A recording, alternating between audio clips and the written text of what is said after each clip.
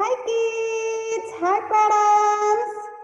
Okay, now we will continue learn science subject. Yeah, student, you can open your book page 20 until 23.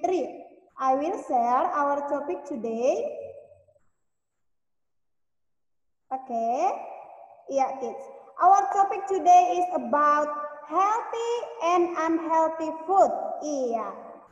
Makanan sehat dan makanan yang tidak sehat. Ya. We should eat three meals a day to grow healthy. Iya, kita harus makan tiga kali sehari. Ya, untuk membuat kita tumbuh ataupun berkembang. Three meals are yaitu breakfast, lunch, and dinner. Ya, ada sarapan, makan siang, dan makan malam. Ya, kita membutuhkan tiga-tiga ini, nak, agar tubuh kita bisa bertumbuh atau berkembang. Healthy food. Iya, the first we will study about healthy food atau makanan sehat. Look at the picture. Iya, this is is healthy food. Ini adalah contoh-contoh makanan yang sehat. Like this is rice, bread, and potatoes.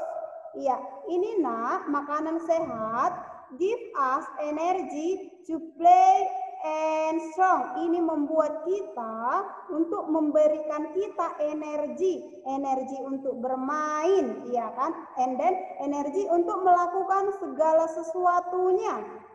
Next, help us to grow, ya, membantu kita untuk bertumbuh like milk, egg, and cheese. Ya, ada susu, telur, dan keju ya. Jenis makanan ini nak membantu kita untuk bertumbuh. Next, help us to grow like fish and meat. Ya, ada ikan dan juga daging. Ya, ini harus kita makan ya nak, biar kita bertumbuh atau berkembang.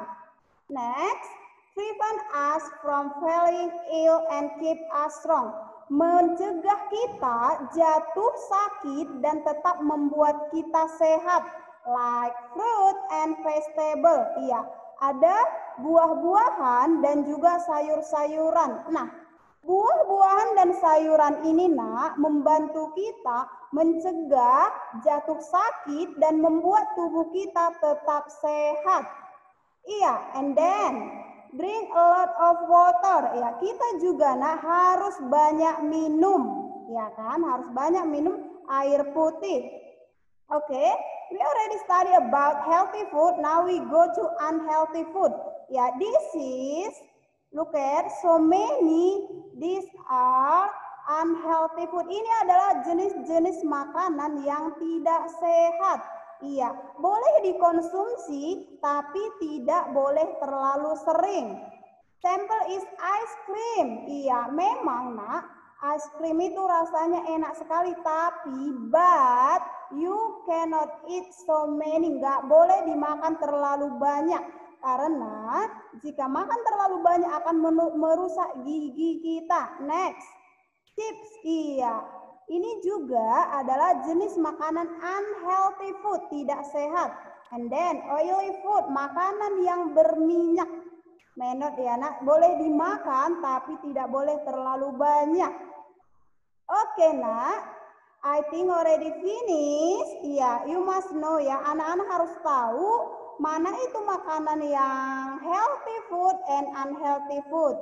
Iya, saat anak-anak makan, anak-anak bisa memilih itu makanan untuk bertumbuh atau tidak. Kalau makanan itu unhealthy food bisa dimakan tapi tidak boleh terlalu banyak. Oke okay, kids, finish for today. Iya, today don't have assignment ya, belum ada PR. Thank you kids, bye-bye.